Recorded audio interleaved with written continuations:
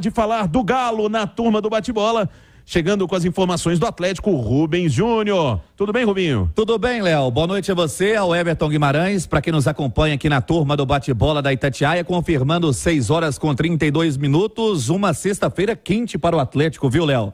Não só fechando a preparação para o grande jogo de amanhã contra o Flamengo, às nove da noite no Independência. O Filipão em busca do seu primeiro resultado positivo, mas com a presença do presidente na cidade do Galo. Sérgio Coelho e a permanência sendo selada do Rodrigo Caetano, havia sim a possibilidade real do Rodrigo Caetano deixar o Atlético antes do término do contrato. Mas, com esse acordo selado, a garantia do presidente, o Rodrigo Caetano permanece no Atlético até o final de 2026. Foi o que reuniu hoje à tarde o presidente Sérgio Coelho e as diretrizes foram tomadas e agora o Rodrigo Caetano pode planejar o Atlético dentro de todo o seu projeto para os próximos anos, Léo? Olha, eu tenho uma, uma visão sobre o Rodrigo Caetano, que ela não é de hoje, né? Ela já é de alguns anos, pelos trabalhos que ele fez. Os bons e os ruins, né? Faz parte da vida de quem trabalha no futebol. Dificilmente o cara vive acertando num cargo na direção de futebol. Mas o Rodrigo Caetano, ele está entre os melhores, entre os mais badalados, entre os mais. Né, é, os caras mais procurados né, no futebol brasileiro. Pelo que ele fez no Atlético, as coisas boas. Hoje, o trabalho não repercute bem, é verdade, o time não está bem, a cobrança vem para a comissão, vai para a direção de futebol também. Mas acho, HG, que a gente precisa colocar duas coisas. Para o torcedor que nesse momento fala, ah, não, tá vendo? Não vai mudar nada e tal. Gente, para ter uma mudança, seja no Atlético, seja na minha vida, na do HG, do Rubem Júnior, a gente tem que sempre tentar mudar para melhor. Se hoje o Atlético olhar para o mercado, ele consegue ver um diretor de futebol, um cara que está voando, né, num grande momento, que seria bom para o clube financeiramente, porque ia gastar menos do que gasta com o Caetano, que traria para o Atlético grandes negócios que o Rodrigo Caetano não conseguiria trazer, que conseguiria fazer a coisa funcionar mais dentro do clube, para tirar mais dos jogadores, se o Rodrigo não está conseguindo fazer. Não tem, gente. Não tem. Com toda a sinceridade, não tem. Então, esse já é o primeiro, o primeiro, a primeira questão. Não tem, não tem concorrência. E o Rodrigo Caetano, que neste momento precisa de cobrança, como todo mundo no Atlético precisa, porque o ano até agora é um ano de fracassos. O ano de, até agora do Atlético é um ano muito frustrante. E vem aí agora um jogo duríssimo contra o Flamengo e depois a decisão do ano, que é o mata-mata na Libertadores com o Palmeiras.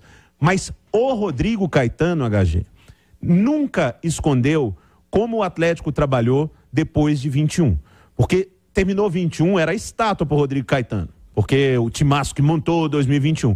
Depois dali, era não gastar, buscar negócios em que o Atlético não tivesse que colocar dinheiro para contratar e ainda reduzir a folha. Aí, cara, é lógico que é difícil para o Rodrigo Caetano, ficaria difícil para qualquer outro. Olha, o, Léo, o Rodrigo Caetano, é, ele, para mim, se ele sai do Atlético, o Atlético teria uma grande perda. Só para ser uma ideia, o Palmeiras tem o Anderson Barros e estão pedindo a cabeça dele lá no São Paulo, por mais que tenha levado, ah, o Pato foi, o Rames Rodrigues, estão tentando o Lucas e tal. É, muito questionado também, né, que é o Rui Costa, ex-atlético. É, e acho o Rodrigo Caetano, pelo menos é, o que eu penso de, de, de diretores de futebol, ele está num seleto grupo de no máximo três, dois deles, Alexandre Matos e o, e, e o próprio Rodrigo Caetano. Pensa futebol, rodado, conhece, respeitado pelos jogadores, respeitado pelos agentes dos jogadores. Muita bronca que não vazou de dentro do clube nesse período de 22 e 23 foi porque ele segurou. Então, é, talvez seja a melhor notícia do dia. Não privilegia ninguém com a informação, ninguém é muito sério, às vezes até demais, mas é bom que seja assim. Agora, o Atlético anuncia a permanência dele, mas que ninguém se meta no trabalho dele. Porque diretor de comunicação não tem que se meter, CEO do clube não tem que se meter, o próprio presidente Sérgio, eh, Sérgio, Sérgio Coelho não tem que se meter.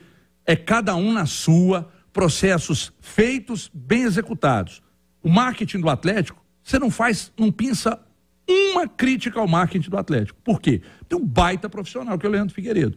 Na direção de futebol Atlético tem um baita profissional, que é o Rodrigo Caetano. Ah, mas ele é chato, dane-se, mas ele é bom. Vai errar e vai acertar como todos os outros. Mas convenhamos, Léo, ele mais acertou do que errou nessa, nesse período de Atlético. Até mesmo porque fica muito marcado, qualquer diretor de futebol, o Alexandre Matos mesmo teve muito essa pecha, né, de que com dinheiro fica fácil contratar. É, Só que, que, não é, não procede lá no, no CAP. Né? Não, não, não é. E o Everton, a, a, função do diretor de futebol, ela não é simplesmente contratar jogador. Ou demitir. Né? Tem o dia a dia, tem o grupo ali no dia a dia. E por isso, inclusive, eu, eu não gosto do trabalho do Caetano hoje. Eu acho que ele está devendo. Porque se o Atlético troca treinador, se tem se o grupo não está entregando e tudo, ele é muito experiente, muito respeitado para fazer as coisas funcionarem lá.